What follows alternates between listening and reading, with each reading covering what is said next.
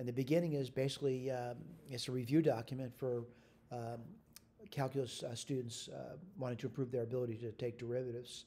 Um, it's um, it's from a, a, guy that's on YouTube. His name is I'm not sure what his name is, but his tag is black pen, red pen.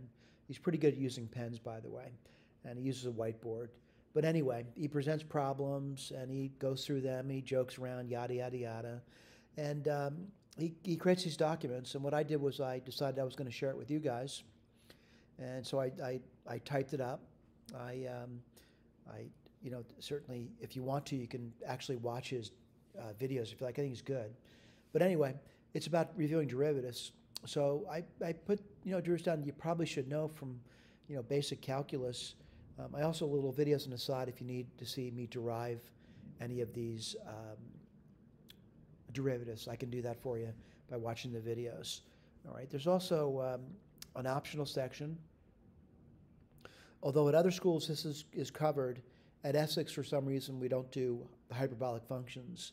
But what I do over here is I actually um, present the optional material. And you know, the more options you take, the better. But you'll see that there's um, a lot of derivatives over here that you're probably not aware of at this point. That's the hyperbolic functions. Basically, what I do is I give two definitions, and from these two definitions, I derive all these things over here. All right. Now, again, I want to go back to this um, this guy, uh, black pen, red pen. What he does, he does all. There's 100, I think 101 problems he does all 101 problems in one session. Takes him about six hours to get through it. Certainly, he goes through other things during the six hours, including taking breaks to drink things. But uh, he goes through each problem like one after another. So I, I do the same thing, but what I do is I break it up. All right. So for example, I'll do problem number one and a little video on the side, and it's a little tiny video. You could watch if you need to. What I would do is I would do the problem select the correct answer. Of course, we highlighted in bold here what the correct answer is, but the bottom line is you should be able to get these fairly quickly. Now, by, by the way, some are more difficult than others. Let me just scroll through the document for you. But there's a series of questions. I'm going to say you realize that some are more difficult. Some are pretty simple, by the way. Some are just, you know, painfully difficult to get through. And I want to get to those painfully difficult ones to get through. And let me just get there. I'm 80, 89. There's some hyperbolic functions over here. So at, at this point, 89, multiple choice. It's multiple choice up to 89, I believe. 90, 90 is multiple choice too, though. And then 91, they want you to use definition of derivative. Easy problem, no big deal. 92, easy problem, no big deal. 93, easy problem, no big deal. 94, easy problem, no big deal. Right? 95, easy problem, no big deal. It's one you did in Calc 1. Right? Same thing. Oh, wait, this isn't so easy. So I'm going to say 96. They didn't do it in Calc 1. Probably if you're not reading your textbook, you probably wouldn't know how to do this one over here. But they use definition of derivative, and I did that here. So I went through the work. There's also a video of me doing the problem at the whiteboard over here, if you want to watch it. Don't feel obligated to do that, though, right? This one's a killer, though. I want to point out why it's a killer. This one is certainly not presented at Essex County College.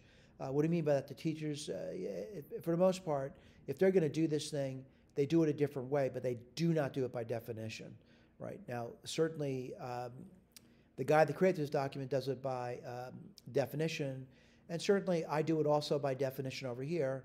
I start out, you know, certainly I'm not going to do it the same way he does it, but it's the intent's the same, by the way.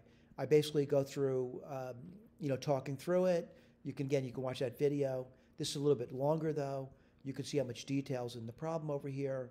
A lot of blah blah blah blah blah hopefully you're, uh, if you're paying attention over there, you get to what we expect to get. All right. Uh, same thing for 98, more involved problem, difficult to get through. You can see how much work goes into that. Uh, 99, you've definitely seen that in your Calc 1 class.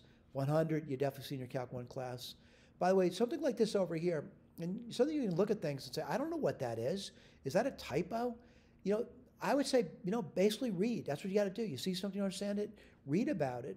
And again, you can read about it in the blue area if you like. But I go through this derivative as well, by the way. It's a more difficult one, but I go through it.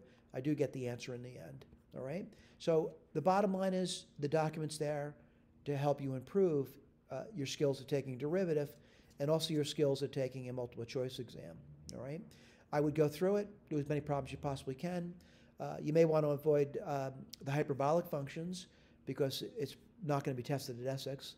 But the bottom line is other problems, like sort of like this one over here, you should be able to get the derivative pretty quickly, get the correct answer. And again, if you need support, you could watch the videos if you want or look at my work. There's really very little work down. Most of my work is done in the videos, by the way. Thank you very much for paying attention.